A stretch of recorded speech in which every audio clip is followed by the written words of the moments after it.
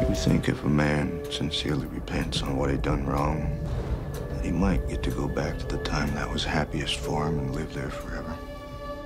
Would that be what heaven's like? I just about believe that very thing.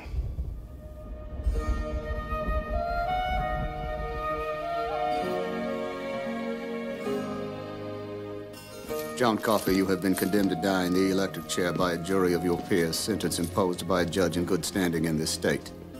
Questions? Do you leave the light on after bedtime? I know violent men. I deal with them day in and day out. There doesn't seem to be any real violence in him. Until he kills a couple of little girls. John Coffey is a murderer. I don't think he did it at all. Take my hand, both. You see for yourself.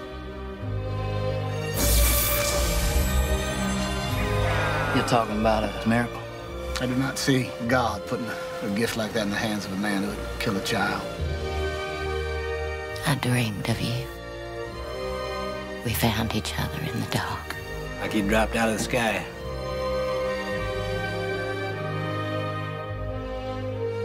Miracles are funny things.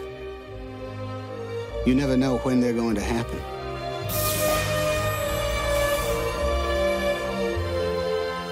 And when they happen in a place like this, that's the most unbelievable miracle of all. This is the story of a miracle that happened here where I work on the Green Mile.